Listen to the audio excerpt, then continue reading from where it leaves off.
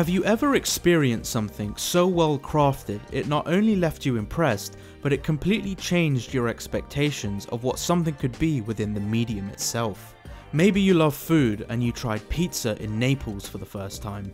Or maybe you're an avid gamer and you managed to experience Breath of the Wild. Moments like this, where your expectations are completely shattered and you have a newfound appreciation for the medium itself, don't really happen that often, and you can probably remember a few times where it's happened to you. For myself and many others who love the animation medium, one of these times was experiencing Into the Spider-Verse for the first time. It's arguably the best superhero film of all time, it had an amazing soundtrack, its script was so well written, it placed it in the 101 best screenplays of the 21st century. It won many awards including Best Animated Feature.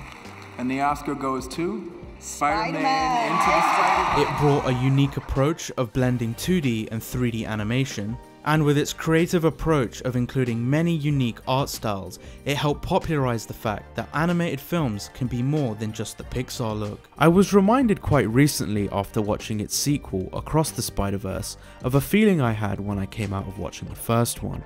Do animals talk in this dimension? Because I don't want to freak them out. While I loved the visual design of both films, I couldn't quite shake the feeling that I didn't truly appreciate how well it was crafted. Even after rewatching the sequel, I was still left with this feeling and it sort of didn't go away, so I started to revisit the first film. I've rewatched the film at least six times, including an occasion watching it at 0.5 speed and also with director's commentary. I managed to stalk a bunch of artists and animators who worked on this film, and even bought the art book going over it several times in order to make notes.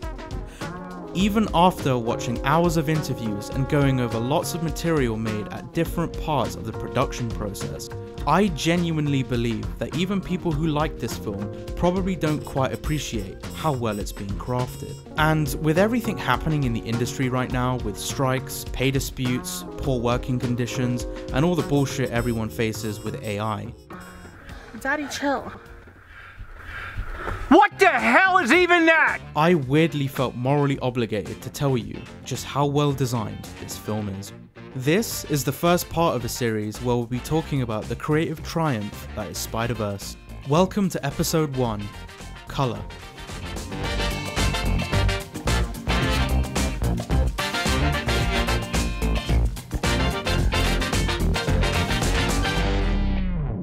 To appreciate why the colour work in Spider Verse is incredible, you need a bit of an understanding of colour theory itself. I don't understand it. Animation, similar to film, is an entire medium and not a genre, and because of this, colour theory can affect it in many different ways. This next section includes a bit of a TLDR of colour theory and how it can enhance stories. Feel free to skip ahead if you know all of this already, but just don't be someone that doesn't understand the basics.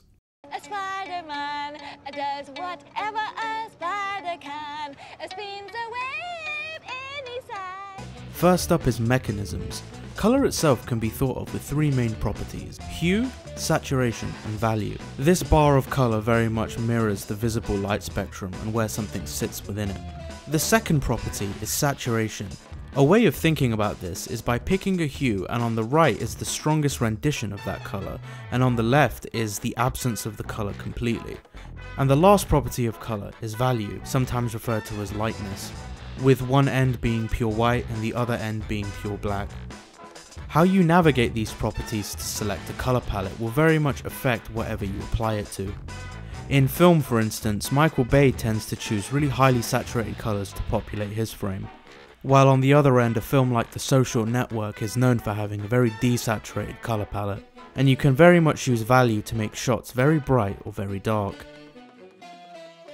Even if you only have one primary colour on your frame, changing saturation and value can do so much to the overall tone.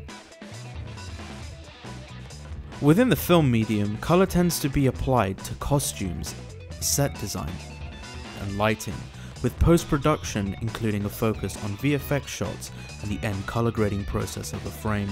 The interplay between all of this very much affects the overall colour palette for a shot. Very loosely speaking, this application of colour very much translates to the animation medium. The overall set of choices with colour and how it comes together for a palette that is then applied to a shot or a scene can very much have different types of harmonies.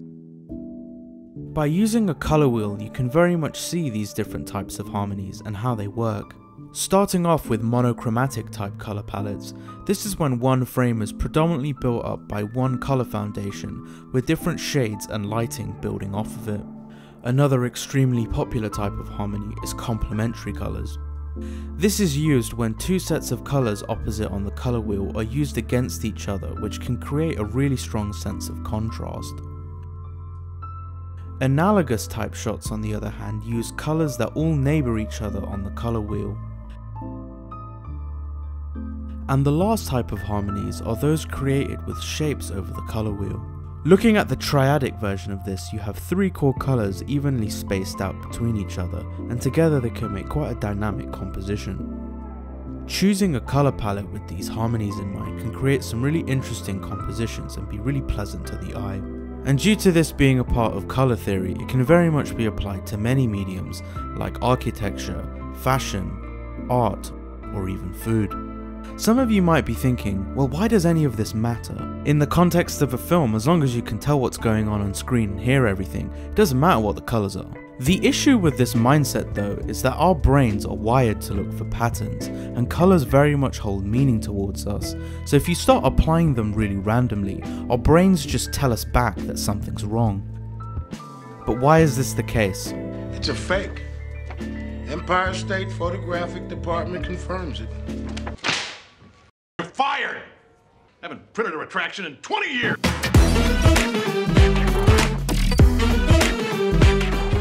While colour is a complicated mess in terms of what it can mean for different cultures, in a body of work made by one set of people, you can sometimes correlate colour to have certain themes and meanings. Good guys are green and blue, bad guys are red. In the comic book Spider-Man Blue, if the artist and colorist were to come out and say that the opening shots of the first issue are all in blue, were to represent the fact that Peter no longer has Gwen in his life, this would make sense as the application of this pale blue is only shown when Gwen is dead, and when she's alive she is shown as having really bright yellow hair. These two things contrast against each other really well within the story, but it wouldn't translate to any other Spider-Man story as this one is done by a set of people with a beginning, middle and an end. The question of intention should also be brought up for this rule. An example of this including colour was for the first Godfather movie. The production designer used a lot of fruits, mainly oranges, to just offset the colours from the suits which were really muted. This was so that the frame was just a bit brighter and had a bit of a contrast to it, but coincidentally a lot of the times the oranges were used tended to correlate to either misfortune or death. While the creators didn't intend for this to happen, due to the constant application of these two things being correlated, you can argue that they do have meaning. So what can you do with colour to enhance a story? A memorable application of colour is within the movie Whiplash. There's a strong yellow hue applied to many scenes within the film that either focus on musicians practicing or performing music. This filter adds intensity to the scenes and amplifies the contrast of many of the instruments. By removing this one saturated colour from the frame, some scenes just appear less dramatic, and the instruments which normally take center focus look really bland. Within the film Love and Thunder, there's one sequence where all the colour is stripped away from the film. By doing this, the antagonist looks a lot more intimidating and the way his powers work seem a lot more unpredictable without colour. By leaving a few objects unfazed by this filter, it draws the viewer's attention to the fact that these are the only things that can defeat the antagonist. So colours can be used for a lot of different things, but what's the best application of it? If you were to ask any of the best filmmakers or animation pioneers, you'll get a similar sentiment. I think what makes cinema to me, I think ultimately it's something that for some reason stays with you so that a few years later you could watch it again. In other words, there's more to learn mm-hmm. about yourself or about life. Mm-hmm. And because the focus of what we do is still where it's most important, and that's with the story and the characters, not because it's computer generated. By nature, the best use of colour work isn't actually just trying to make things look nicer, but it's to enhance the themes of a story. And ta-da! I hate it. I mean, I, I don't even know what the theme is. What's the theme? Bird frosting. Those aren't themes. There's always a theme. There's always a theme. A popular example of colour application in story themes is Vince Gilligan's Breaking Bad. Working closely with production design and wardrobe, he made sure that everything a character was wearing was consistent in relation to their feelings. Yellow was used to represent the meth business, and pink was used to represent innocence. The application of colour is so consistent, you can track character development and change over time. A great use of set design using colour to enhance themes is in M. Night Shyamalan's The Sixth Sense. Use the color red to indicate anything in the real world that has been tainted by the other world. And a recently great example of lighting being used to show a character's internal struggle was in the Obi-Wan Kenobi show, with blue representing the light side and red representing the dark side. Anakin's gone. I am what remains. You didn't kill Anakin Skywalker. I did.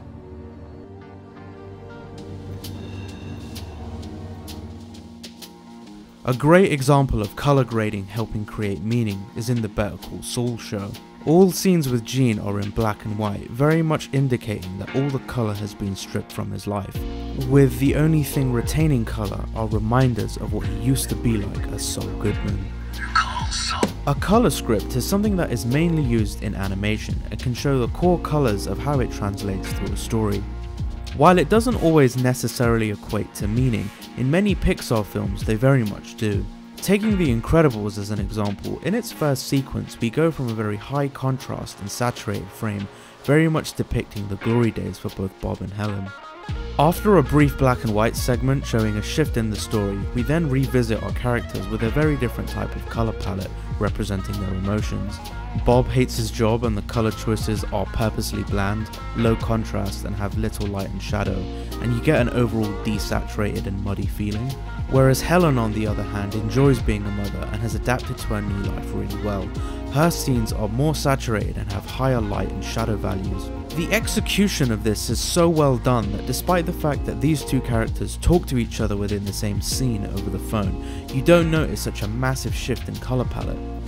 This seamless yet important set of decisions very much helps the audience empathise with what a character is feeling on screen. Now what are you waiting for? I don't know. Something amazing, I guess. Me too, kid. A bit later on in the story, the audience knows exactly what Bob is feeling when he gets the chance to revisit the glory days just by its colour.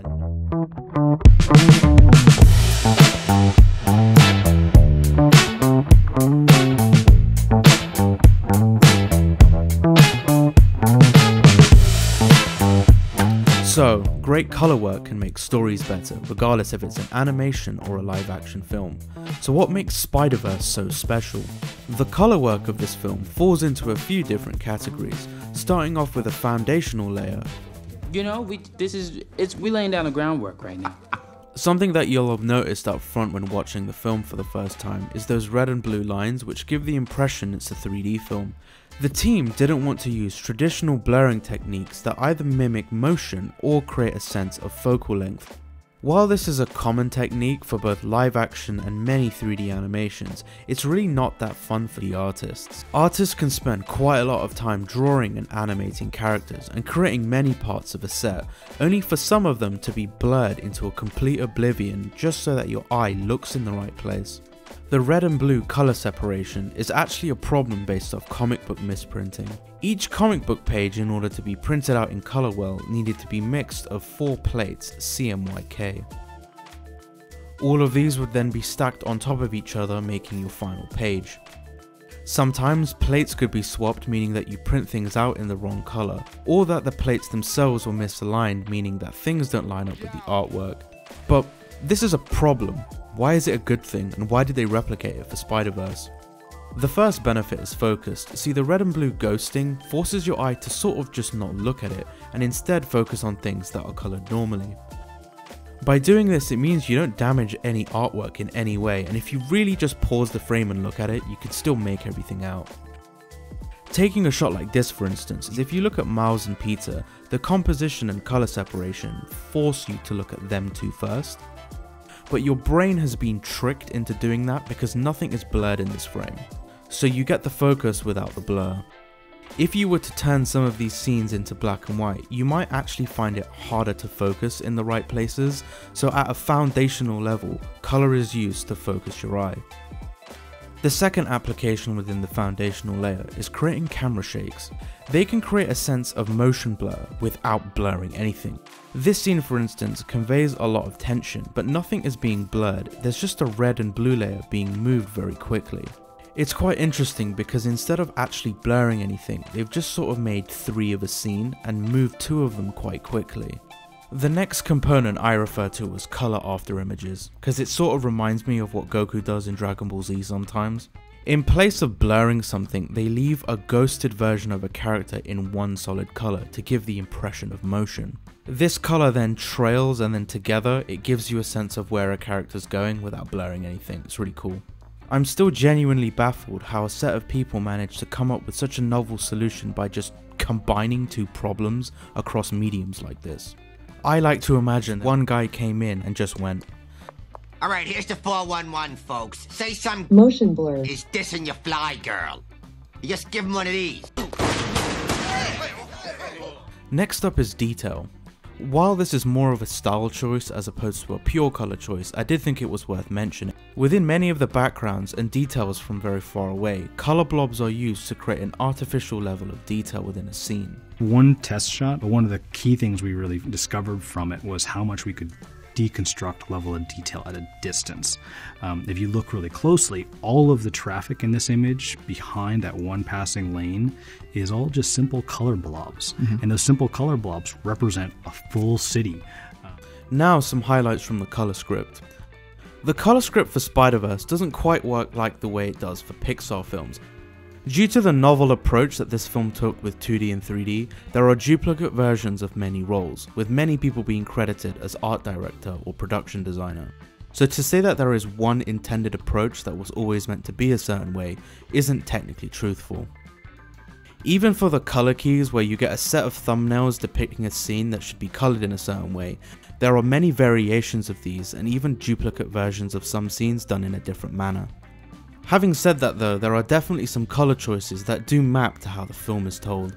Now, Spider-Man Into the Spider-Verse, what we have here is this is a chart I make for a film. I do this on every film I work on. And what I'm doing is that I'm charting the film as we go. This is how we're starting out. This is the overall trajectory of the movie and its palette. It's just to show that your film isn't just all up here or it's flatlined. Because if your film is all like in one section, then it's not going to be a very inspiring movie to watch. While your initial impression of Spider-Verse is it's colourful, like many people say, it's not actually technically true as there are some scenes that are very desaturated. So the most important way that I thought about color on this film was balancing this idea of natural versus supernatural. So you're looking at Aunt May's house. I wanted those scenes to feel really grounded. I wanted them to feel really natural so that when we went to these superhero moments, color would actually turn more vibrant and turn into this supernatural color palette that you're seeing. So looking at that scene in its entirety, it starts off with Miles in a natural coloured scene looking for the spider that bit him, which then very much leads to a superhero action sequence that's highly saturated. Then leads to the apex of that scene with the collider blowing up with the highest rendition of colour contrast and saturation, then leading into the scene of Peter dying, which is completely muted. So this is an example of how the colour script has been applied to the end film.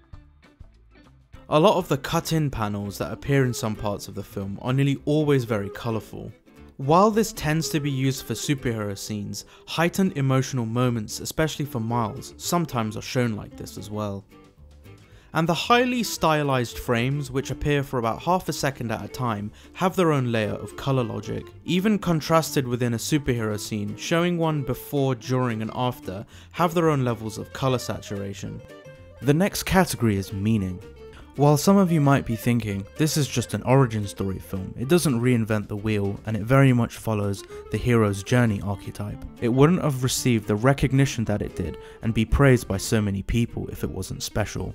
It's well directed, well written, and I just don't think that there's been a better superhero movie than Into the Spider Verse. This story is known for having a couple of core themes. The first being choice. We all make choices in life. Uh, it doesn't feel like I have a choice. You right don't. Hey, his shoes untied. Yeah, I'm aware. It's a choice. You're like me. I don't want to be. I don't think you have a choice, kiddo. Go back to being a regular kid. I don't have a choice. I see this, this spark in you. It's, it's amazing. It's yours. Alienation. I just think that this new school is elitist. Everyone knows. He's looking right at us while we talk about him. Expectations. Always find a way to come back. You're trying to quit, let you. Promise me you'll do this. Our family doesn't run from things, Miles. I'm the guy who's gonna turn it off. When will I know I'm ready? You won't. It's a leap of faith.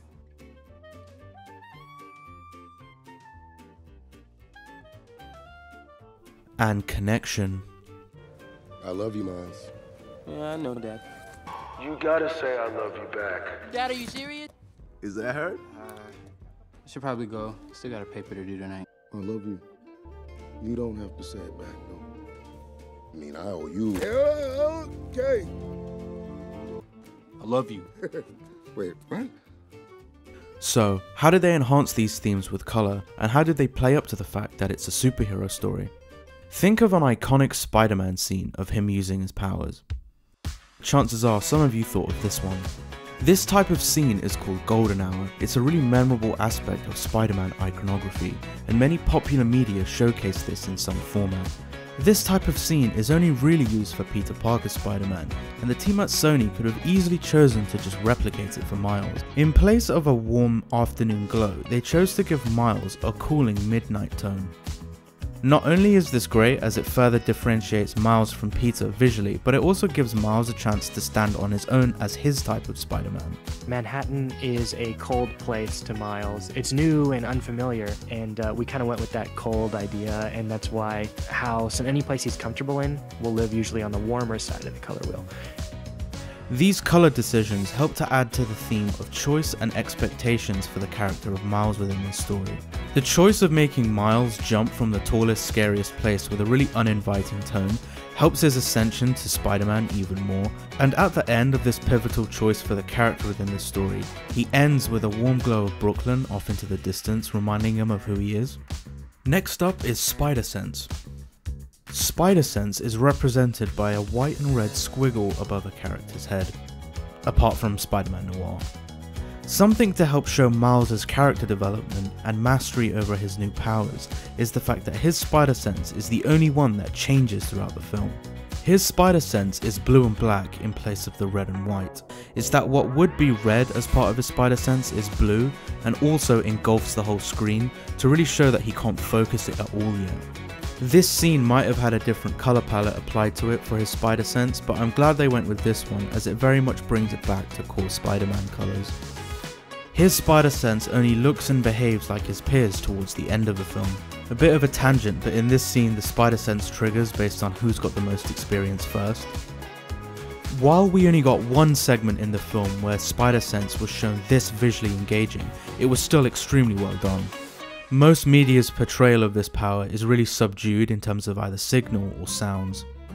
The Raimi films have a really good visual representation of spider sense, even though it doesn't work half the time. That's a cute outfit. Did your husband give it to you? Bit of a note, but I think that the color work and visual presentation of how it's done in this film actually inspired some comic books to change how they do spider sense. In the comic book line Non-Stop Spider-Man, they changed Spider-Man's spider sense to no longer have a lightning bolt or squiggle, but instead have the action that Spider-Man needs to do, almost as if his subconscious is talking to him. Within the first film, when Miles and Peter meet each other for the first time and their spider sense sync up, you can very much see that Miles' spider sense has the Prowler theme attached to it in terms of colours being purple and green which ultimately then ease into Spider-Man colours showing that Miles is now Spider-Man. You're like me. Most superhero costumes tend to pivot around the three primary colours on the colour wheel. Depending on how many of these colours are used, there's also an additional layer of how much of a colour is used in relation to the other ones. There is sometimes some costumes that only really use one colour, but they're a bit more rare. This is a bit of a loose rule though, and you will find lots of characters that don't follow this rule like the Hulk or the Thing. And broadly speaking, villains tend to be based off secondary colours on the colour wheel. But very much like the primary colour rule, this one is also fast and loose. Because of these colour pairings, artists can come with their own individual style and your compositions with heroes and villains will always be dynamic. By nature, most of Spider-Man's villains have green as a base to counter the red, with yellow, orange or purple being accent colours. I should note that there is a sub-theme of Spider-Man villains that just don't have any colour but they're a bit more rare. But what about Miles and his visual identity with colour? Miles has the most visual changes and costumes throughout the film, probably to echo the amount of character development he has.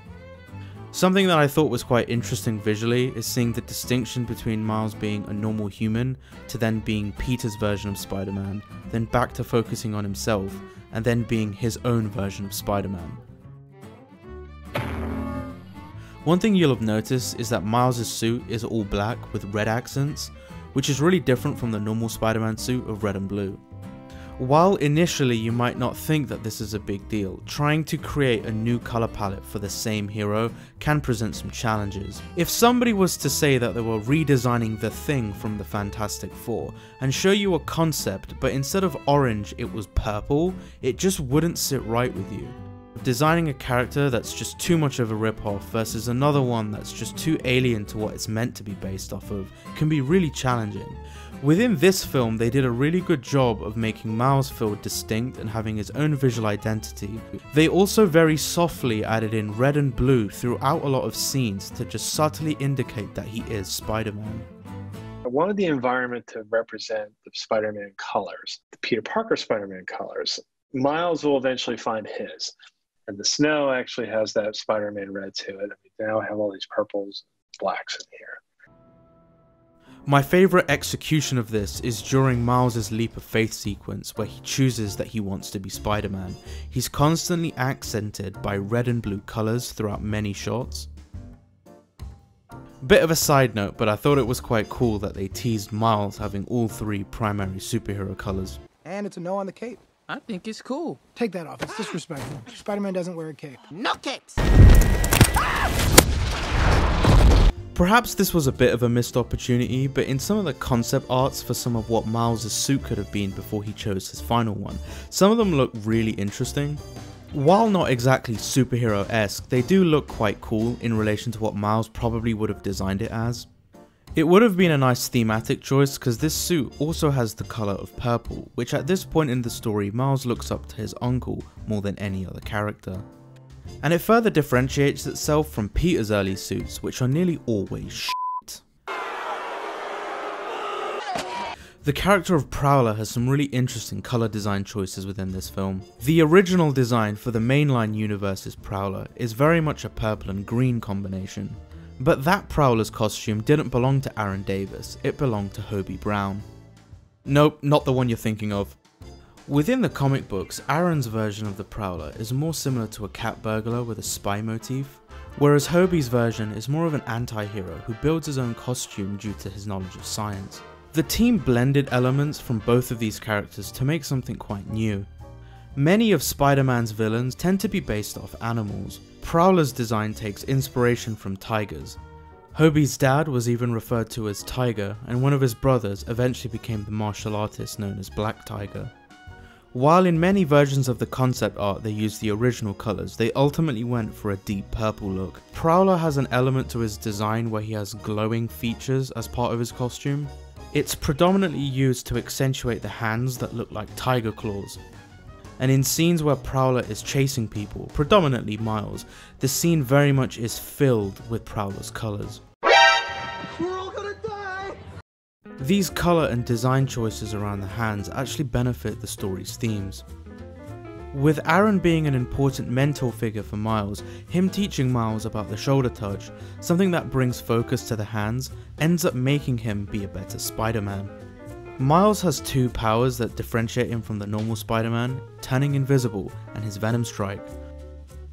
With Venom Strike being his most powerful move, it very much glows in this film, very much mirroring Prowler's hands. It's also no accident that the Venom Strike is in blue, which is the only colour left for Miles to have traditional Spider-Man colours on his costume. Perhaps Aaron didn't let him down after all. I let you down, man. I let you down. Miles's colour theme of black, red and the occasional glowing light blue can also be seen on the spider that bites him. Out of all of the spiders in this film, and Pig, that bite our heroes to give them powers, Miles is the only one that has his spider mapped to his costume. I mean, technically, Spider-Man Noirs also counts, but not really. We're the Spider uh, Gang. Most of them tend to have a red and blue costume, with a few exceptions. Besides Spider-Man Noir's monochromatic theme, Gwen has probably the most unique costume out of everyone in the team. Not only does her costume lack a lot of red and blue, it generally lacks colour altogether. This is to make her stand out against what is probably the most colourful universe out of all the Spider-Man worlds. The pink very much offsets the green ballet shoes, which is a key part of her character. White and black are the two most noticeable colours out of her costume both as a superhero and as a civilian, and this is to make her look like she shouldn't be part of this colourful world, which at this point in the story she's very much disconnected to.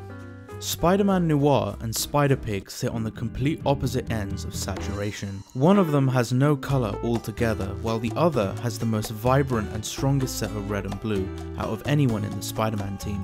What a pig. I'm right here. Peni's Spider-Man robot, SPDR, is one of the only other characters besides Miles and Aaron that have glowing accents. Her world is strong in a neon aesthetic and is all red and blue. One of the most colourful aspects of this film is Peni's power-up sequence, which is very anime-esque. The two versions of Peter in this story are actually a bit different from each other, even though they have the exact same costume. The Spider-Man from Miles' universe that dies is often shown more contrasted and more lighting affecting his character.